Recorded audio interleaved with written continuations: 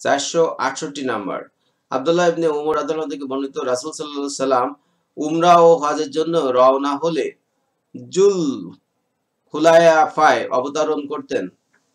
বাবলা গাছের নিচে জুল হুলায়াফার মসজিদের স্থানে।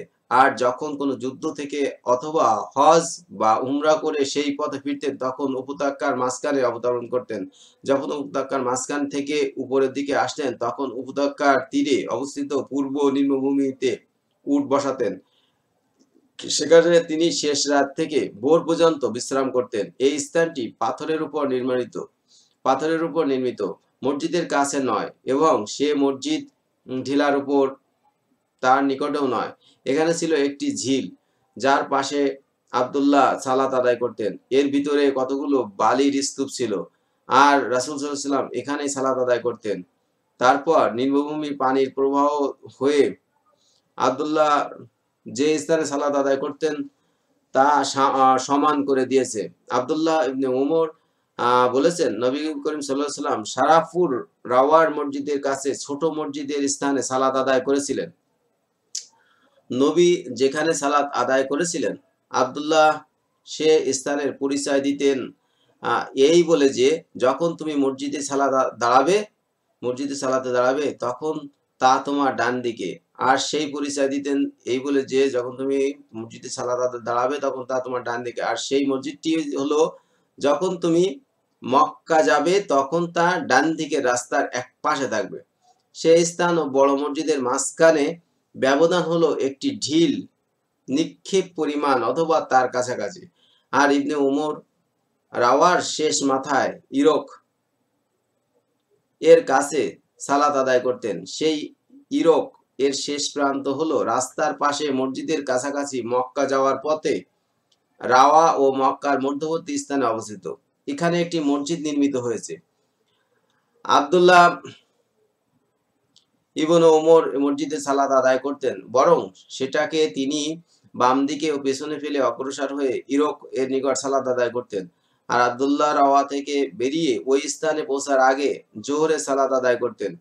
সেখানে পৌঁছে জোহর আদায় করতেন। আর মক্কা থেকে আসার সময় এর পথে ভোরের এক ঘণ্টা আগে বা শেষ রাতে আসলে তথা অবস্থান করে ফজরের সালাত আদায় করতেন।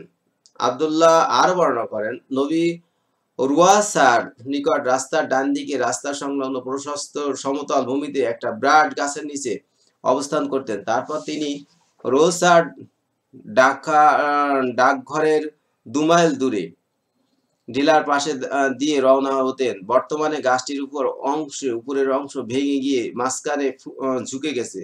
গাছের কাণ্ড এখনও দাঁড়িয়ে আছে। তার আর তার আশেপাশে অনেকগুলো বালির স্তূপ বিস্তৃত রয়েছে। আবদুল্লাহ এবং ওমর আদলন আরও বর্ণনা করেছেন, আরজ গ্রামের পরে পাহাড়ের দিকে যেতে যে উচ্চভূমি রয়েছে, তার পাশে নবী সালাত আদায় করতেন। এই মসজিদের পাশে দুই তিনটি কবর আছে। এসব কবরের পাথরের বড় বড় খণ্ড পড়ে আছে। রাস্তার ডান পাশে গাছের নিকটেই তা অবস্থিত। দুপুরের পর সূর্য ঢলে পড়লে আবদুল্লাহ আরস এর দিকে এসে গাছের মধ্য দিয়ে যেতেন। এবং ওই মসজিদে জোহরে সালাত আদায় করতেন। আবদুল্লাহ ইবনে ওমর আদালানু বর্ণনা করেন যে রাসুল সাল্লাহ সাল্লাম যে রাস্তা বা যে রাস্তা বাদিকে বিরাট গাছগুলির কাছে অবতরণ করেন, যা হারসা পাহাড়ের নিকটবর্তী নিম্নভূমির দিকে চলে গেছে। সেই নিম্নভূমিটি হারসা এর এক প্রান্তের সাথে মিলিত। এখান থেকে সাধারণ সড়কের দূরত্ব প্রায় এক তীর নিক্ষেপের পরিমাণ।